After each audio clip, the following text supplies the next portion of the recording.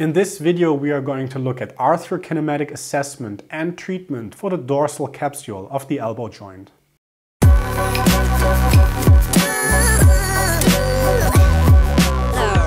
Hi and welcome back to Physio Tutors. The aim of roll glide assessment is to gain information on reactivity of the joint and of course articular problems such as capsular limitations. In the elbow we can perform roll glide assessment in the humero-ulnar as well as the humeroradial joint.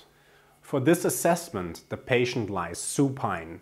In case of the humero-ulnar joint, the humerus is the convex joint partner and the ulna is concave, so we will roll and glide in the same direction. Abduct the patient's arm to around 70 degrees while you stand lateral to it. Supinate the forearm and grab onto the distal ulna with one hand and place the other on the ulna as proximal as possible at an angle of 45 degrees in distal direction as this will be the gliding direction as well. Then perform the roll into flexion with the distal hand and glide into ventral and increasingly proximal direction with the other.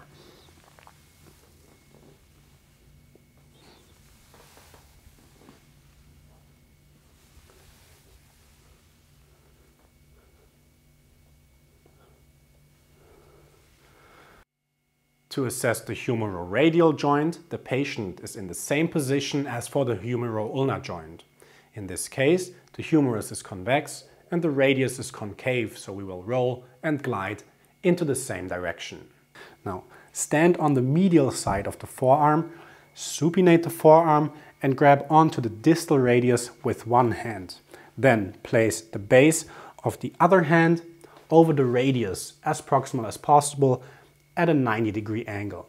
Then induce the roll with one hand by performing flexion and add the gliding component with the other hand into ventral direction. Assess for movement quality during roll and glide, possible pain provocation and end feel. For end feel assessment, roll and glide to end range. Then assess if further gliding is possible or not.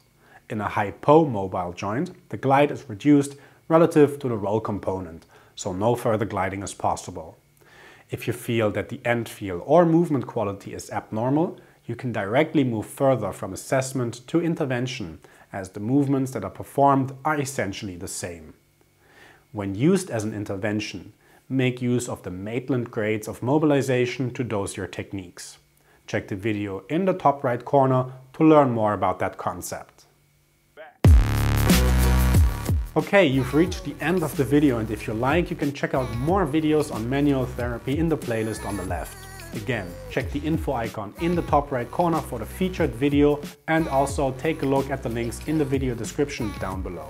At last, subscribe to our channel if you haven't yet and hit the bell icon next to the subscribe button. This will let you know once we upload new videos. As always, this was Andreas for Physio Tutors. Thank you very much for watching and I'll see you in another video. Bye.